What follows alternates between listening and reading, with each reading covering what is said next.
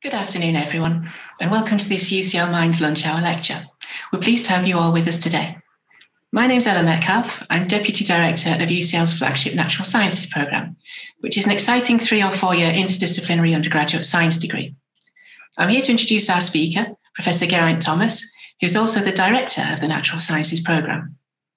Geraint is Professor of Biochemistry in the Department of Cell and Developmental Biology He's a skilled scientist with an academic background ranging from chemistry to mathematics, and his group has active collaborations across an array of disciplines, including life sciences, physics, medicine, and chemistry. He's also deeply committed to development of our future scientists.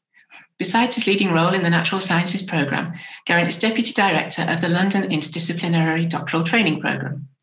This is the largest Bioresearch Council DTP in the UK. It offers research students the opportunity to pursue innovative multi specialist projects on topics ranging from DNA nanotechnology to cancer signaling to the modelling of foodborne disease risks. Geraint also chairs the Bioresearch Council's People and Talent Strategy Advisory Panel, which addresses the national talent landscape, investment in people, and the needs of user communities, including academia and industry. In addition, Geraint leads the SysMIC e training programme for bioscience researchers, which he'll tell you about. He's giving us a lecture today with the title Fat Chance From Biochemistry to Maths and £1 million in Teaching Income. In his synopsis, Geraint asks How does a lipid researcher who studies microscopic signalling mechanisms develop a £1 million CPD operation out of a keen side interest in teaching? Professor Thomas will address questions at the end of his lecture, but you can submit your questions at any time during the event. You can use the Slido link that you were sent by email or if you don't have access to that, you can go to slide.do and enter the code LHL2. Over to you, Geraint. Thank you very much, Ella, for, for that introduction, which I think was uh, uh, was certainly complete. So the talk, Fat Chance from Biochemistry to Maths and £1 million in teaching income. Uh, well, what I'll focus on is not some esoteric talk on my research uh, filled with arcane language and complicated concepts whose primary purpose will be to keep me in a very agreeable comfort zone. Uh, in which I'm the expert. It's a chance to make a fool of myself because a willingness to do that is the basis for learning, as far as I'm concerned, and certainly the basis for going the extra mile for interdisciplinarity, uh, which will be a theme for today. Uh, so, the aim of UCL Minds from the publicity is to share knowledge, insights, and ideas from our UCL community. Uh, and that's exactly my aim rather than detailed research. So, one way of setting up where I want to go is to tell you a little bit about my own journey. How did I get here? And why this influences what I do and what I'd like to do next, and my thoughts about the future.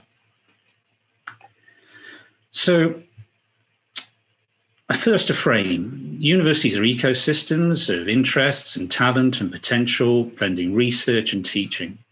Uh, the funds and other, other resources all get blended too.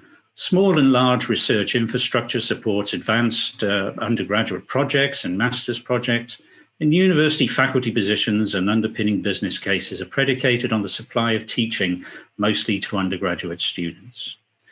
And we live in unique spaces you know, in, in, unique spaces in our system. And the real costs of research are subsidized by teaching, but it's not always clear how the real costs of teaching are met by research, except in maintaining an environment where it's easy for those who teach to stay current with minimum optimized effort, and those who organize teaching to keep modules and courses current by brokering the contribution of experts to our curricula. So, time spent on teaching, that's all aspects planning, administration, creation, delivery, follow up, maintenance, assessment, progression, and repeating that whole process can't be spent on research, and the blend can often lead to unproductive fragmentation uh, for the lives of university researchers and, and teachers and academics. Yet, for me, by getting involved in everything the university does, I've been trying to mine everything in our academic community for everything that it can do.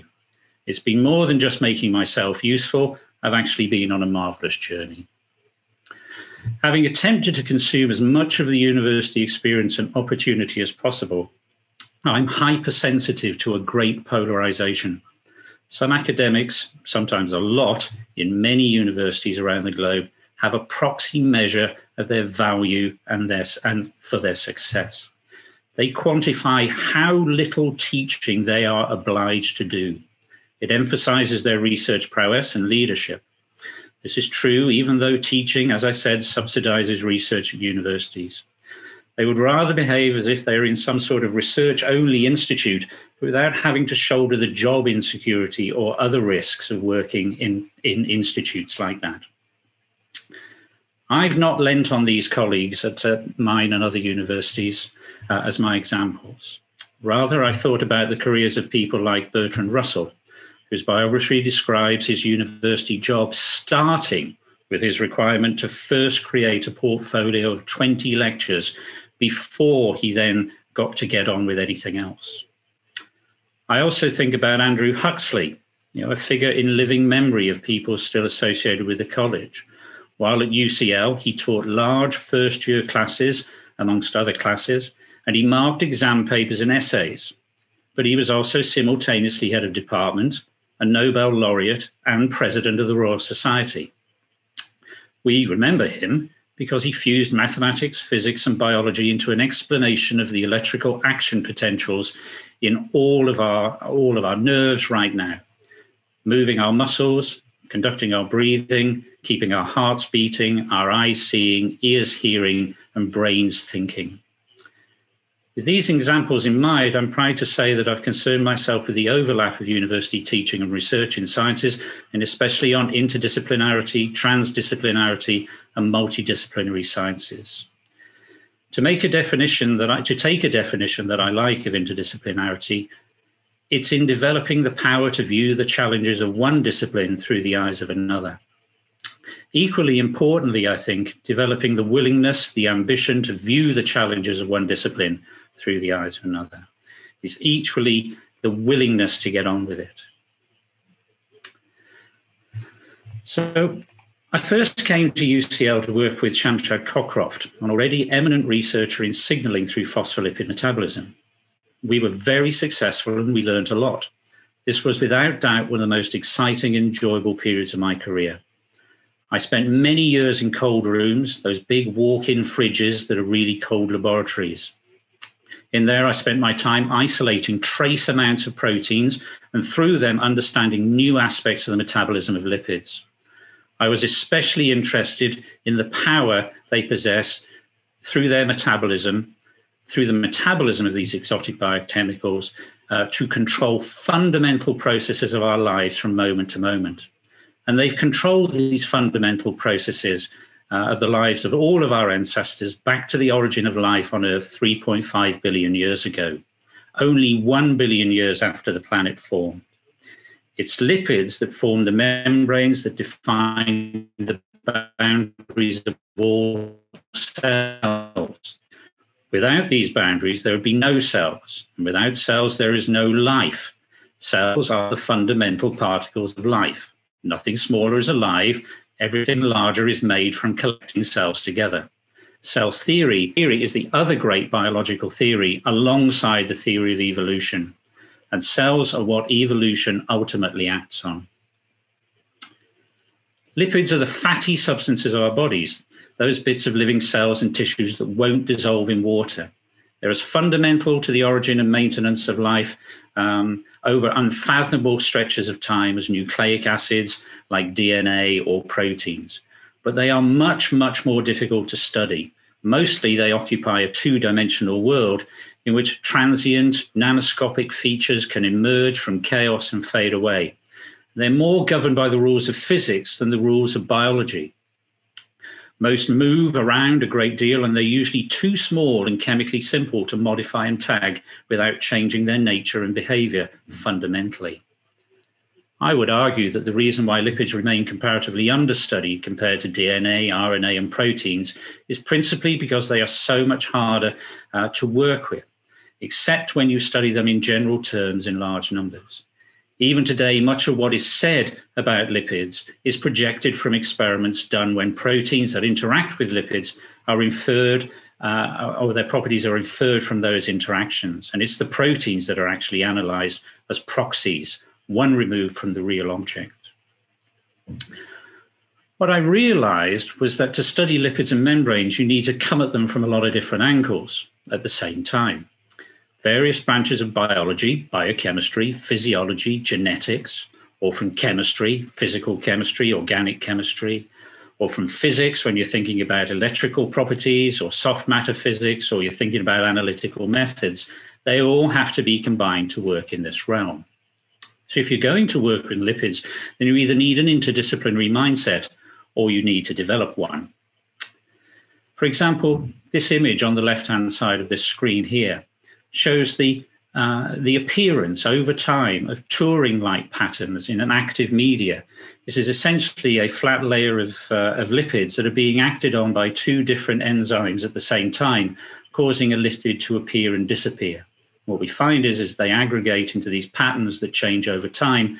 And whether you end up over here on the left hand side if, when the patterns collapse or over here on the right hand side depends on simple things like how small the container is in which this reaction is constrained.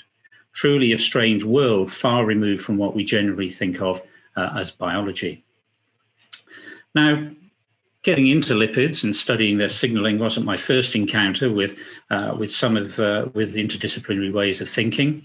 You know, I'd unhelpfully requested in my PhD that I not only be allowed to stick living cells into the chemistry department's NMR spectrometers, but those spectrometers also be retuned to exotic nuclei like lithium so that I could determine the true concentrations of this ion inside cells when they were bathed in dilute solutions of lithium salts.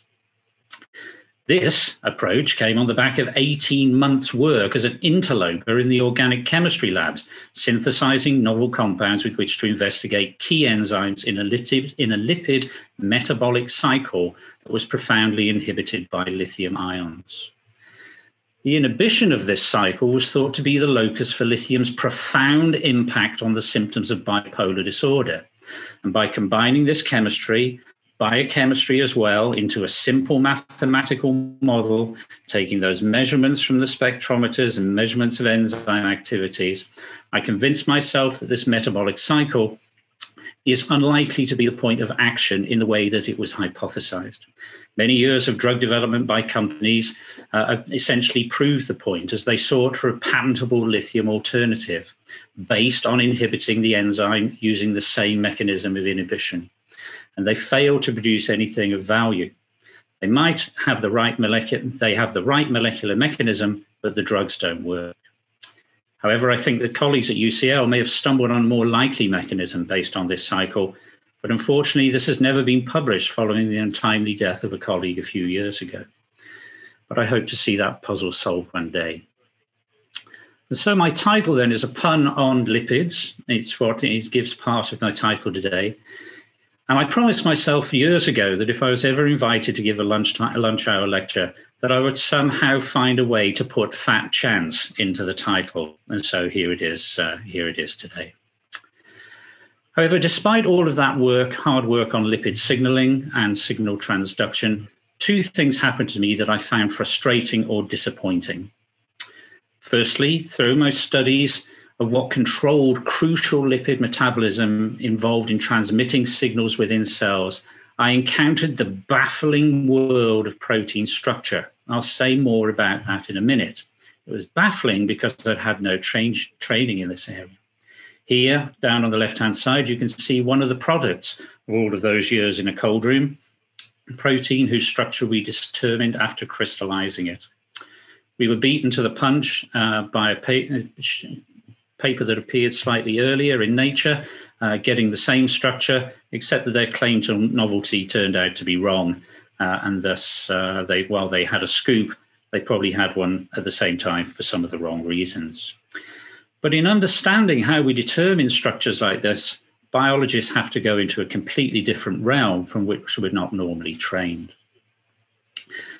The other thing that happened to me is that I became uh, tired of a sort of way of thinking and communicating about uh, about signal transduction and signaling processes in cells.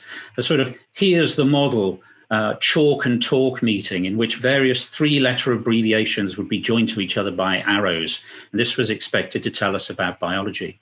So here on the right hand side is just such a diagram, three letter abbreviations connected by arrows. And this is supposed to be how information flows through our cells.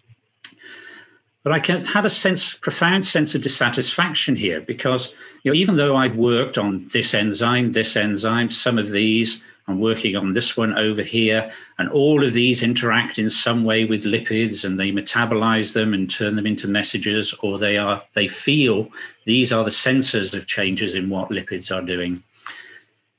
It came to me that you know I came to be unhappy with the fact that this isn't dynamic, that it's fixed. I also became unhappy with the idea, with realizing that some of these arrows are geneticists' arrows, from evidence obtained in one way, and others are biochemists' arrows from evidence obtained in another way. And what I couldn't figure out is this are these really wiring diagrams, or are they just collections of potential interactions?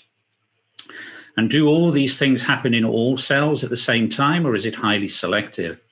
And because not all of these proteins are present at the same time, or in, in abundances needed to have an impact. And then I had the good fortune to spend a couple of years in Harvard Medical School, where I first began to get a hold of uh, ideas about how I might uh, end some of this dissatisfaction. So, what happened is that when I got to Harvard, I had the good fortune to share a lab bench uh, with this uh, fellow here, Michael B. Yaffe. Uh, here he is shown dressed up in his uh, in his surgical outfit because he was not only uh, a trauma surgeon in Boston, which means a lot of gunshot wounds amongst uh, amongst other things. Uh, when he wasn't researching at the bench alongside me, also on signal transduction, this was his other job. But before that, uh, Mike had Mike had done other things before he went to medical school. Now, one of the things we talked about was that he'd spotted, knowing us from London, that there seemed to be a course running through the web on the principles of protein structure from an institution called Birkbeck College, and he wanted to know a bit about it because there wasn't an equivalent course in the US, and the fact that it was available through the web um, was new and it was massively innovated, and of course he could study it from the from the east coast of the US. Now, importantly, um, what went alongside the Principle of Protein Structure course was a course called uh, Principles of X-ray Crystallography. And triggered by Mike's attention to this, I decided that I would study both courses when I came back to back to London. Now, the thing about protein structure and X-ray crystallography is that it's physical chemistry. And you need an awful lot of mathematics to be able to, uh, if you want to do this properly. But even to study it, you need to think in terms of inverse lattices, in inverse spaces, and symmetries, and Fourier analysis and synthesis. And for me, this was a gateway to mathematics in a context directly linked to my research. The other thing is that Mike had been an engineer when he was first at university, and he clued me into the fact that engineers had quite well developed mathematics for thinking about interactions of parts like spring by like springs and masses and things that vibrate and oscillate through things called systems of differential equations. And that piqued my interest, and I realized that these were also in use inside biochemistry and could possibly answer some of my dissatisfaction about the dynamics, dynamics in the networks, the signaling networks of the sort that I just show, showed you. So maybe this was a way um, to uh, mathematics would be a way to get into more deeply into the biology I was interested and uh, and to carry my uh, my research forward and to overcome my my dissatisfactions. Now, maths had languages and methods for dealing with almost all of the problems uh, that I was interested in. We were in an, a, an age where the genome, the human first drafts of the human genome, were completed, and we were pretty much feeling that that uh, part of biology was over. And we were now moving on to systems. Simultaneously, the same notion was occurring to others uh, at the same time. So I felt like I was going with the tide. You know, that with molecular and cellular biological research, the problem was that cellular and molecular biology research through the late 80s and the 90s, uh, in its aggressive headlong rush into uh, molecular botanizing and atomistic uh, reductionism uh, through cloning everything and re-expressing everything and looking at, at parts of cells and signaling one molecule at a time, we wiped out all of the resource and know-how we pretty much had in terms of systems biochemical thinking. Because if you didn't do molecular biology of this aggressive sort, then you weren't winning grants for about 15 years. Now, I didn't know whether it was possible for me to engage with mathematics in any uh, realistic or productive way. Um, I had only rudimentary maths, so I spent some time sitting down at my dinner table in Boston, uh, refreshing some algebra and working through a big book on calculus problems. And when I was uh, when I was happy that uh, there was something for me to do, and when I'd finished my principles of protein structure, the next step for me was to revisit my youth to some extent. Here's a picture of the sort of TV that used to be on in the middle of the night from the Open University. And it was to the Open University that I turned for further work in developing my insights, my skills in mathematics. It's amazing exactly how much work, how much mathematics you can get done when you've got 45 minutes in the morning and 45 minutes in the evening traveling on the Metropolitan line over six years. And I plowed through an awful lot of study, some of it relevant to biology, most of it not, but with my antenna always twitching for where I could apply it, and laid down a foundation of skills in which I could use to approach biological problems in a mathematical and importantly, in a computational way. Because this training also showed me the power of computers uh, to address at least applied mathematical problems, if not also to gain intuition about pure mathematical problems.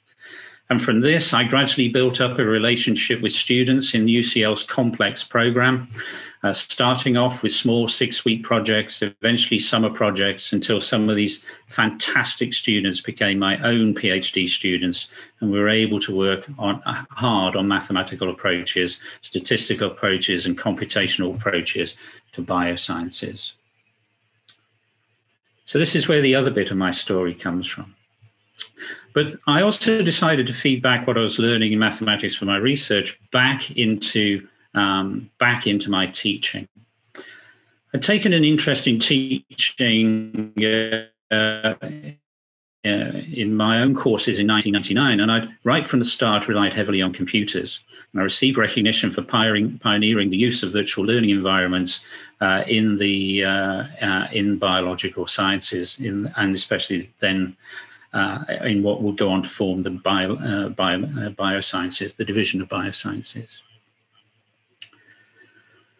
But what I'd learned besides the contents of these courses was also the fantastic power of first class distance learning materials and how hard uh, and how hard it was to create these materials. We all tell ourselves now in this pandemic uh, that during this uh, this new ways of working, we've become the open university overnight, but we haven't. We're not anywhere near their quality management standard. Our student body is much more homogeneous in its academic standards and much less heterogeneous in almost all dimensions of diversity. Our talk now about the future way of running the university teaching operation is about what we'll bring back with us from our little sojourn into OU territory. And everybody hates a tourist. But this link into teaching and learning is important. I'd gone into this hard work thinking it would pay off in research, but it turned out I wasn't being imaginative enough.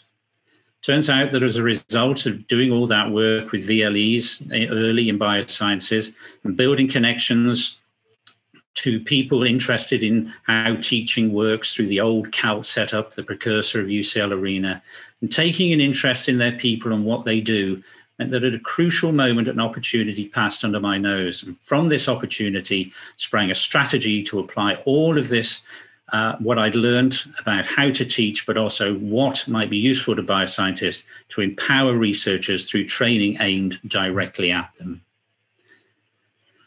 And this then brings us to the SysMIC story what happened was the uh, BBSRC, the Big Bioscience and Bi- Biotechnology and Bio- Biological Sciences Research Council, put up a million pounds in a competition for anybody who could propose how to upskill their research workforce in mathematical, computational, and statistical approaches to research. Now, the thing was that anyone hoping to win this competition would be up, again, up against six already established centres of systems biology research excellence that were sponsored by the same funder at universities equally well competent in teaching as well as they were in research. There are also plenty of other com- competent centres funded by other means. For example, UCL's Complex, which I've already mentioned. It would be tough to win this competition. I remember the briefing meeting. There were some formid- formidable figures in attendance.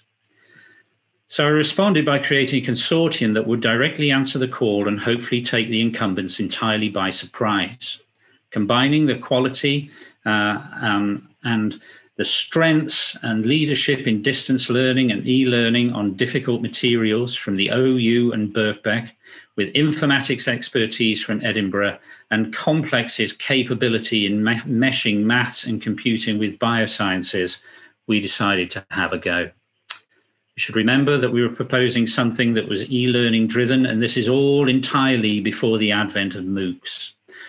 But we've been able to be successful, we've remained autonomous, and we live by the fees that we earn today. And it's a, and I introduce you, I think, to some of the people involved here. Uh, Uwe, Uwe Grimm, David Morse, David Crow, all from the Open University, Stephen Gilmore from Edinburgh, Adrian Shepherd from Birkbeck.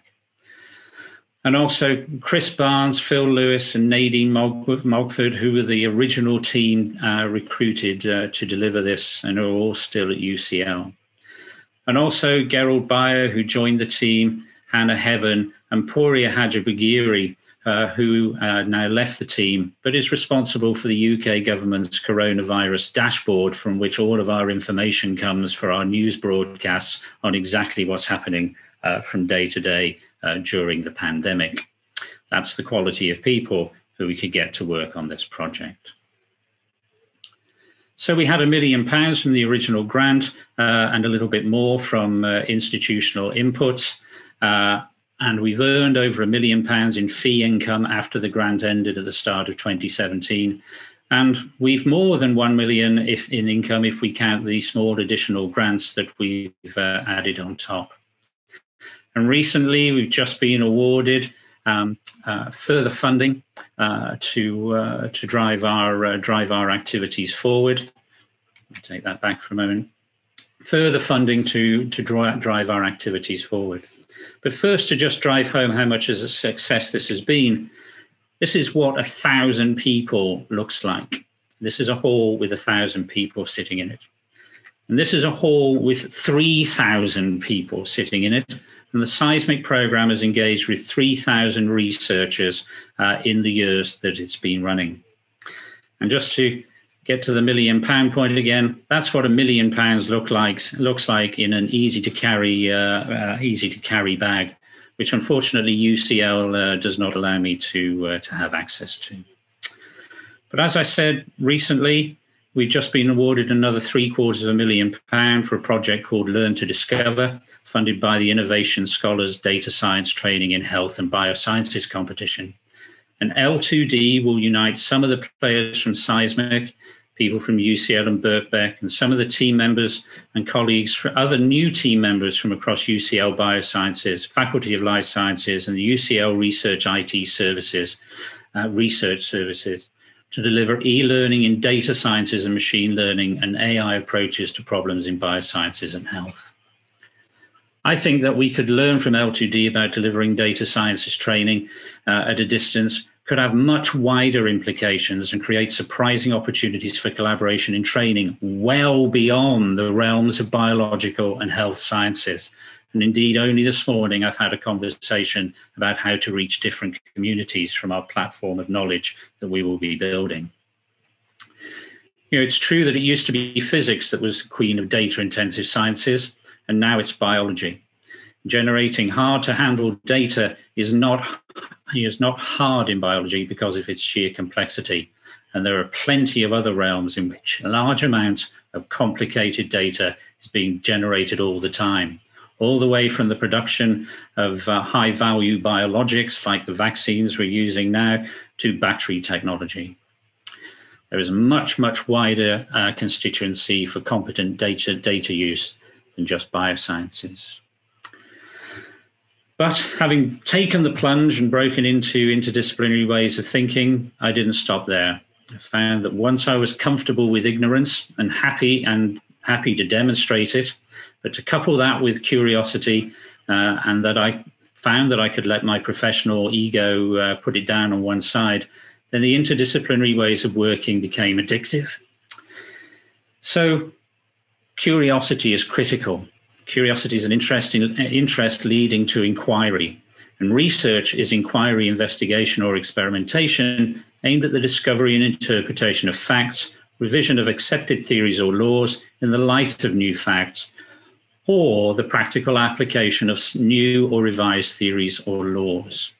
And those are two definitions of curiosity and research. And I find that they combine naturally.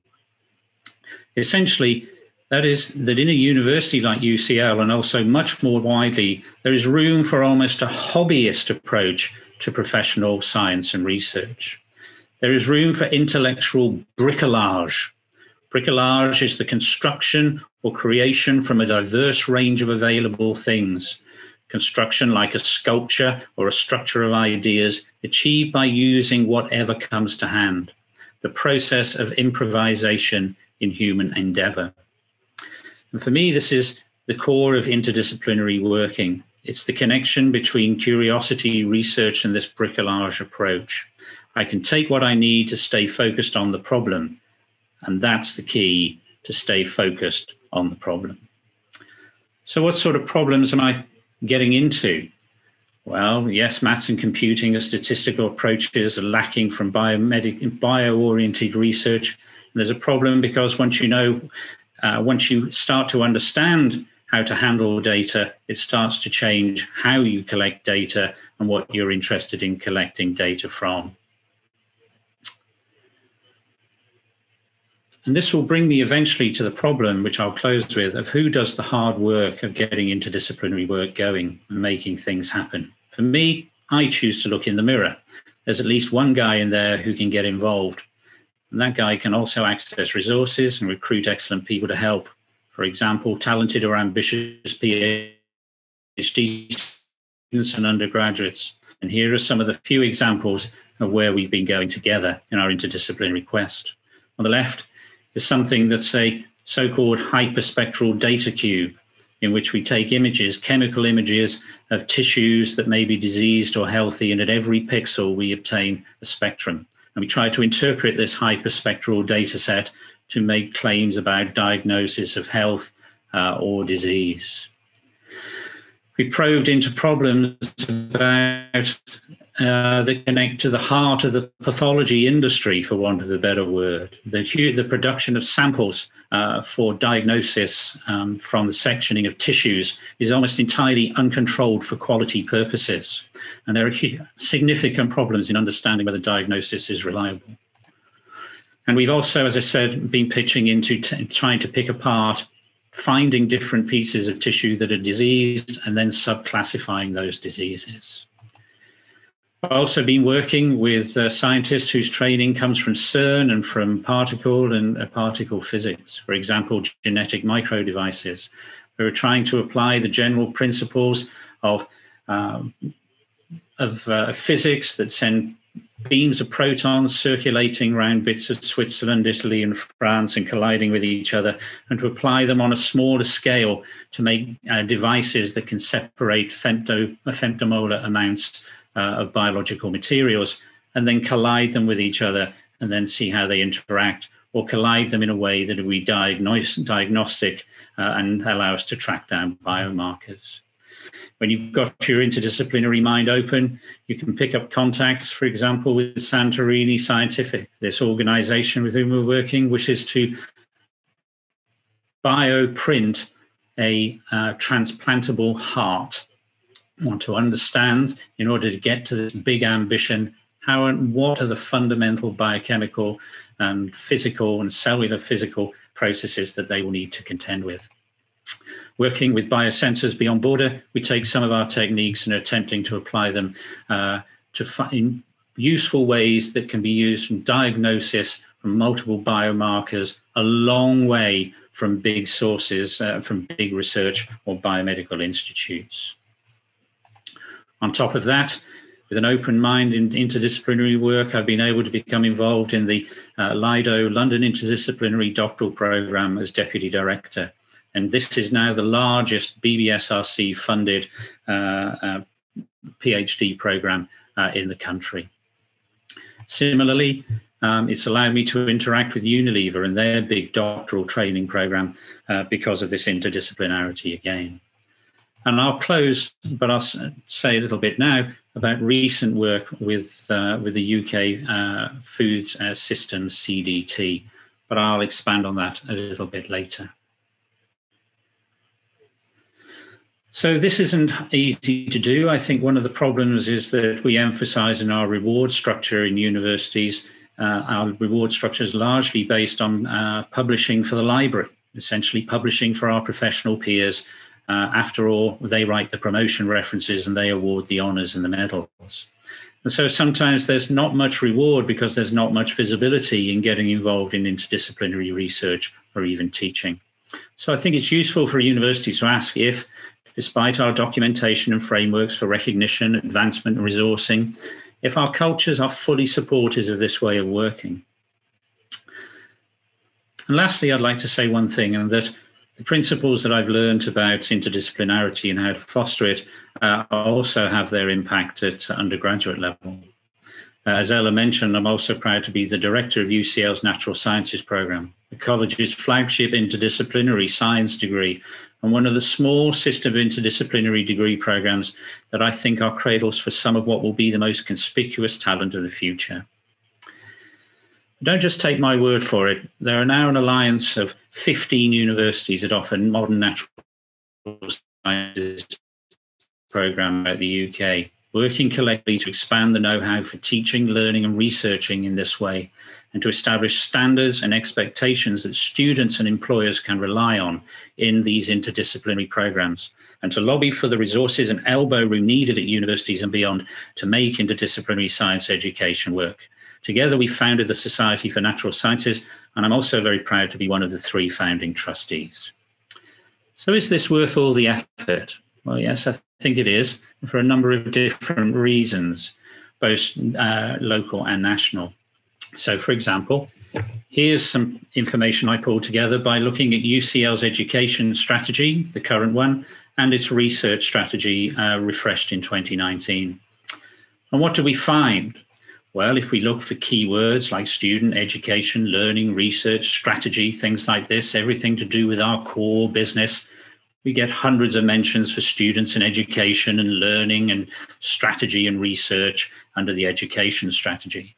And we get similarly large numbers for uh, when we look at the at the research strategy uh, as well.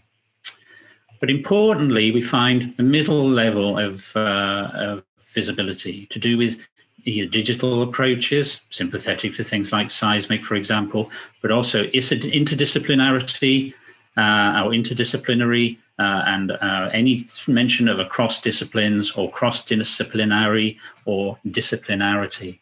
When you look in this zone, what you find is again a very high frequency of mentions proportional to the number of uh, the mentions of these other topics. When you look at disciplinary uh, emphasis in these strategies, you find that the numbers are relatively small, uh, especially in the teaching strategy. And in the research strategy, you find out that the mentions of specific disciplines is just about total, all of them, the same number of men, the number of mentions for cross-disciplinary or interdisciplinary. So this tells me that at our strategy level, this interdisciplinary approach or cross-disciplinarity is emphasized. But it's not just here.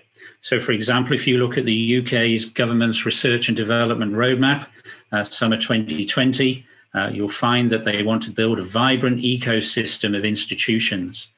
And in this ecosystem of institutions, they want transformational opportunities alongside, and to break down barriers to interdisciplinary research. They want to support allied research that can help tackle the most complex and pressing challenges of government, and they want to remove barriers to interdisciplinary research. The flagship uh, Future Leader Fellows, uh, the program that backs the winners of the future, uh, hopefully the winners of the futures, they want to make sure that they can break down the barriers to novel uh, in such a way that novel interdisciplinary projects can flourish under the leadership of these fellows.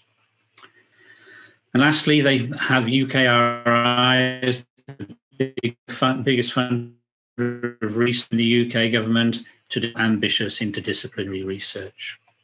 And when you look at the surveys from which all of this input came, what you find is, is that there's a, a significant interest in the community uh, in finding a number of ways to support interdisciplinary research institutes. You look further through the document, and we're looking for high, respondees highlighted the funding for long-term secondments to be a mechanism to promote interdisciplinarity interdisciplinary approaches.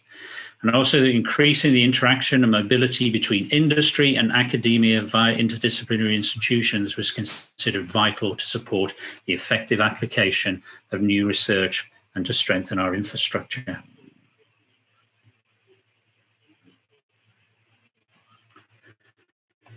So, why is this important? Well, this is a slide that I like to show to potential natural sciences students because it seems that STEM, uh, science, technology, engineering, and mathematics disciplines drives growth like nothing else. So here's extracts from a report into the US economy. It says over the last 50 years, that the 5% of people who work in the STEM fields were responsible for 50% of all of the growth in the US economy over that 50 year period.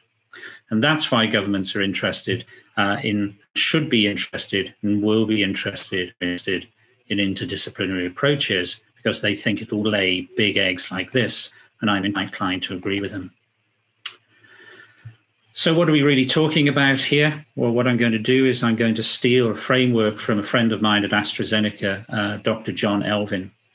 And this is that it's okay to think about strong disciplines and uh, with miners drilling down or digging down ever deeper into new knowledge and to understanding what's what's there.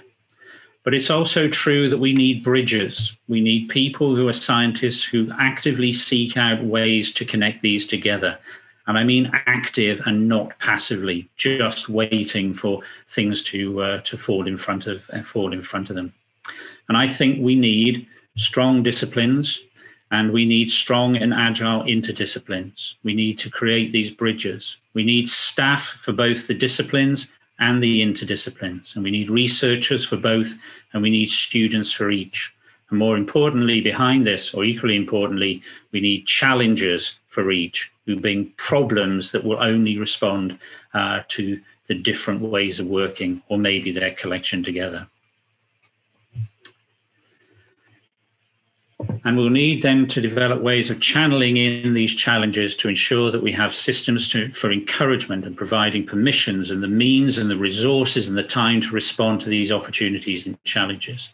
At the moment, I believe that these ways align directly with UCL's strategic ambitions.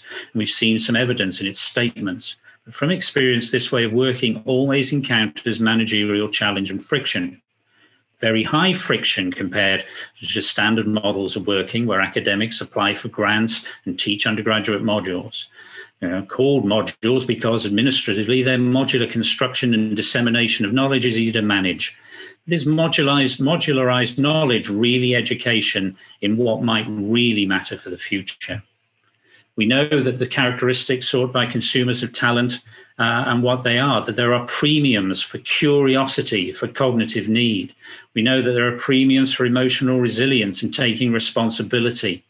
And this, I think, and there's also premiums for leadership, self leadership, that is, and looking after the growth of your own skills and development and planning and what you're interested in, and also collaborative skills and outlook and organized ways of working. And I think more interdisciplinary approaches, I think that interdisciplinary approaches allow these those qualities to be generated in abundance. I've got time for colleagues who make the clear point that the need to maintain strong disciplines, and I agree entirely with it, with them.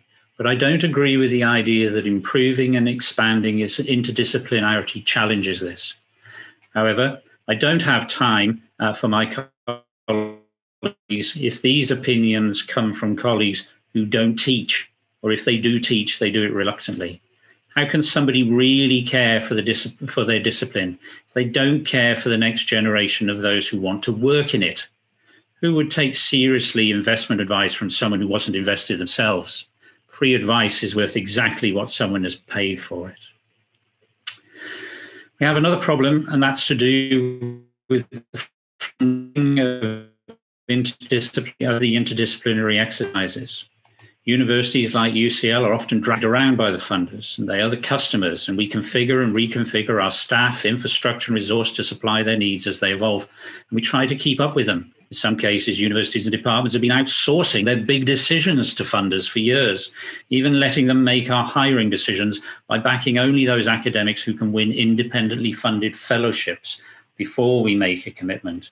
This way, we avoid taking risks by making decisions based on that prior endorsement. However, we are players in the game, shaping what can be delivered and exerting our own influence. If we weren't, our university would look a bit like this. We'd have a department for EPSRC studies, a department for CRUK studies, an institute of MRC sciences, and probably somewhere a Wellcome research building. But are these organizations the only customers? especially for the really wicked problems facing us? Are they really capable of behaving and funding in a manner that will really get traction on these enormous problems? Who are the other customers? Should we always respond to calls from priorities from traditional funders, or do we need to look more widely? How can research and education be organized to respond to, to durable challenges with durable centers of excellence? University centers or institutes are often convening coalitions of the funded and they melt away when the funding priority changes. How can we be more durable? Traditional ways to hitch the business cases for employing researchers to teaching undergraduate students, but then you have to deliver. This is well developed. What else might be done, especially from an interdisciplinary or cross disciplinary point of view? I suggest that we do this by helping to coalesce communities of stakeholders around problems that, because of their size or their complexity or both, can only respond to interdisciplinary or cross disciplinary approaches. And I believe we should take the lead in figuring out do this. How to art- find the problems, how to articulate them, how to organize an active search for and to attract challenges of sufficient scale um, so that they then can attract resources how to help challenge holders drive a problem up the agenda sufficiently far that it can attract resources broadly, not just from one customer like a research council, a charity, or a single government department. What do we need to know and learn how to do to make combinations of project, challenges, partnerships, and alliances essentially oven ready? And what does a beachhead for a successful invasion of a particular challenge look like? What sort of seed investment or seed activity might be used to pump prime uh, in enterprises that might have a big return on the investment of our intellectual uh, uh, capital? These are all critical questions. And it's this in mind I'd like to draw towards a close by mentioning the UK Food Systems Centre for Doctoral Training. I think there's an angle here. I think that's what's coming together in this project uh, is going to shape my thinking about how we do things in future. This CDT was called for as an interdisciplinary endeavor to fuse social and natural sciences approaches. So that's a big interdisciplinary span. The consortium that won this bid features many established centers for food systems research and is led by the excellent and globally recognized Natural Resources Institute at Greenwich. And as far as I know, this is the only post 92 university that will lead a UKRI CDT. It's an area in which the use in which UCL has no strong coherent association the UCL has a keen interest in uniting its fragmented strengths across many faculties and departments and making a concerted and useful contribution in this realm. I have the habit forming habit of collaboration and being open handed and open eared, and I deliver energy and commitment when I sense that the feeling in a project is one of mutual excitement, curiosity, and interest. And I think this project is going to help me with some key parts of a puzzle that I wish to tackle without joining un- about joining universities to challenges and to the resources to tackle them. Not just tackle them here and now, but create the capacity to keep tackling them by using them to drive research and development programs. The project is innovative because it not only calls for would be researchers to join the PhD program, but also for stakeholder and problem holders in the food system businesses, government, local government, charities to join the enterprise through a Food Systems Academy that now has 50 members. Not so much to shape the training program, that's innovative enough already, although there will be plenty of room for input, but to commute, but rather to communicate the priorities and network for solutions and to share the outputs and absorb the talent created. I think there's a model here for what could work more widely something that could maybe reverse the polarity of universities responding to funders as customers and universities and their stake and stakeholders gathered around them sourcing the uh, telling the funders what they should be funding.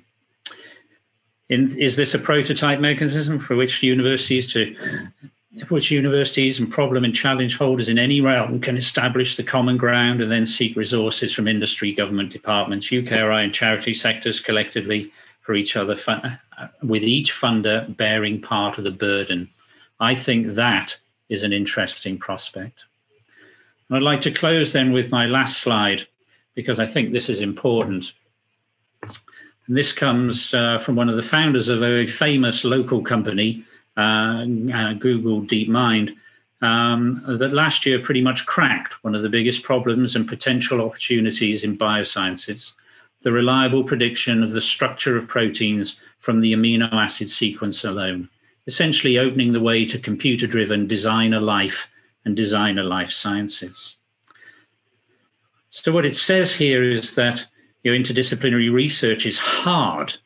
Say you get two world leaders leading, two world leading experts in maths and genomics, then obviously something could cross over.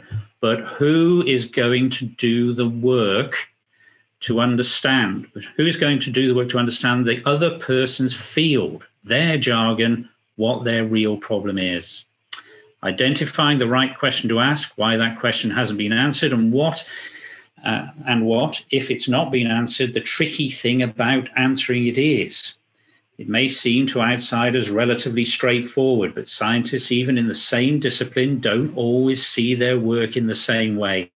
And it's notoriously hard for researchers to add value to other disciplines. It's even harder for researchers to find joint questions that they might answer.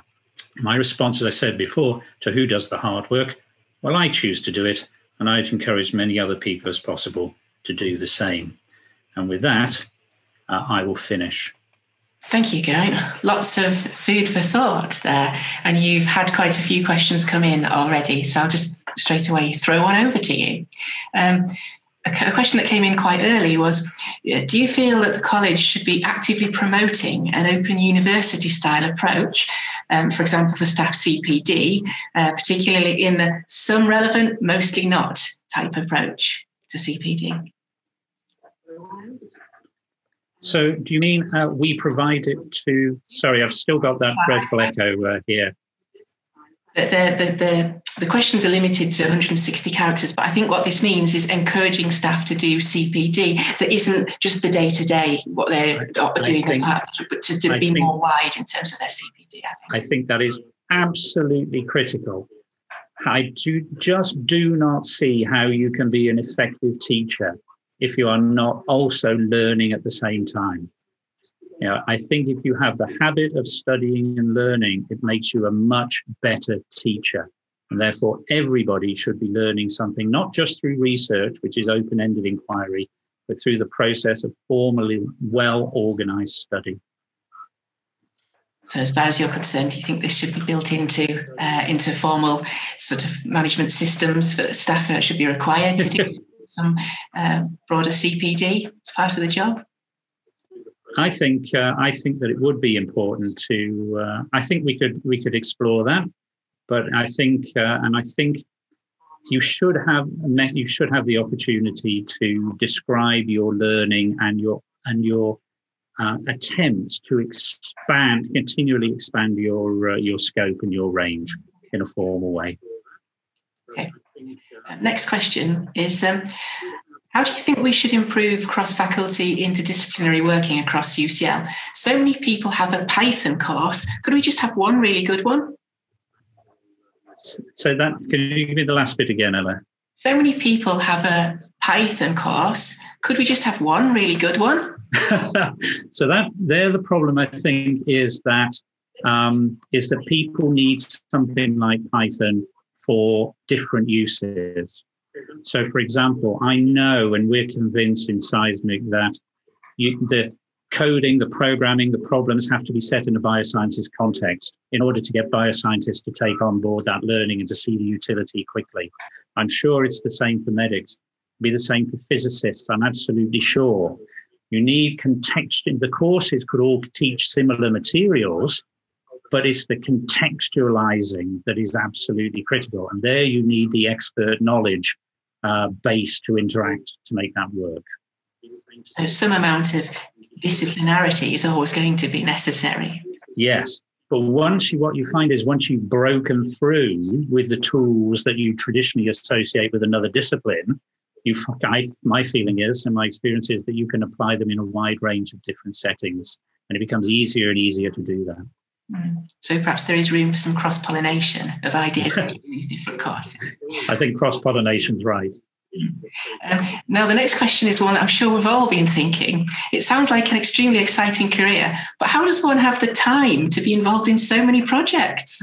I have absolutely no idea. Um, all I know is that it's tiring, but it's not exhausting. Um, I really do not know where the uh, where the time comes from. But I think the key is, for me, and I'm sure it's the same for, any, for many other people, there is always the energy for things that you find exciting. Uh, there is always the energy for things that uh, that draw your curiosity. You know, it just doesn't feel like work.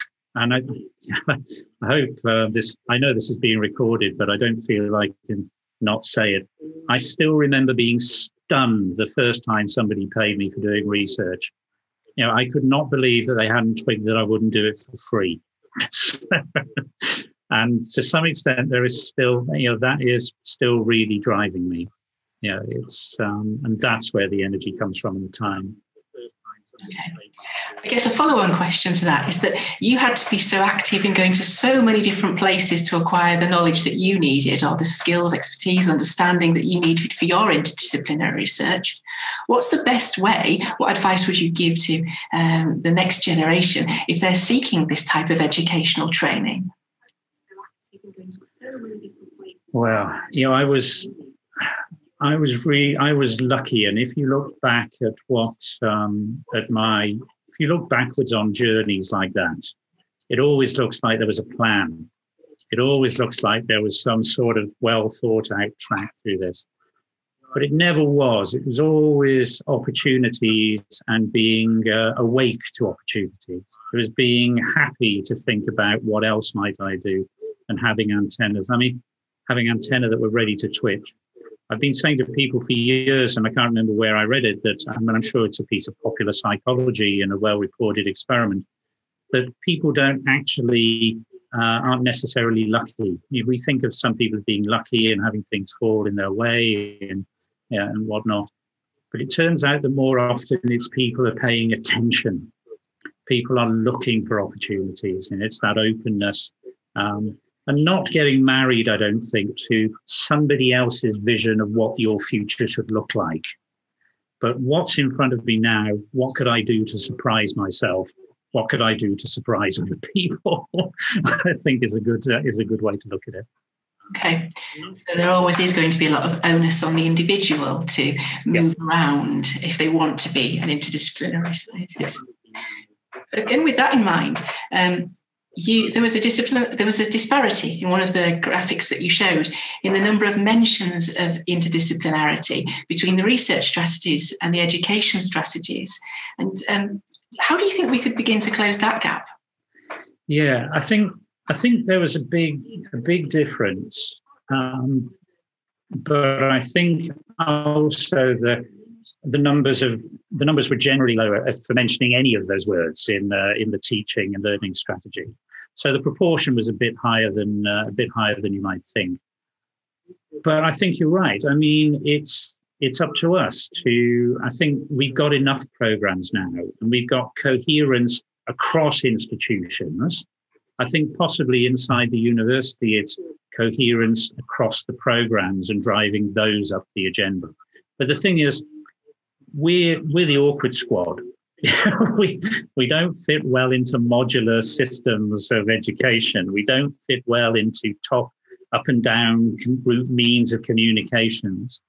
We're a web, uh, a, web of learning and interactions across UCL's knowledge landscape instead of tracks uh, and we don't necessarily haven't organized ourselves necessarily very well to make those systems cohere. But now's the time to push for them, I think. Okay. Um, I think as we've hit the two o'clock mark, we have to bring things to a close. Um, thank you to our audience for coming today and, show, and uh, sharing your thoughts and interest. I'm sure you're all clapping away in your kitchens and bedrooms. Um, you can see upcoming lectures by visiting the UCL Minds webpage, and we hope to welcome you to some of our future events as well. Stay well.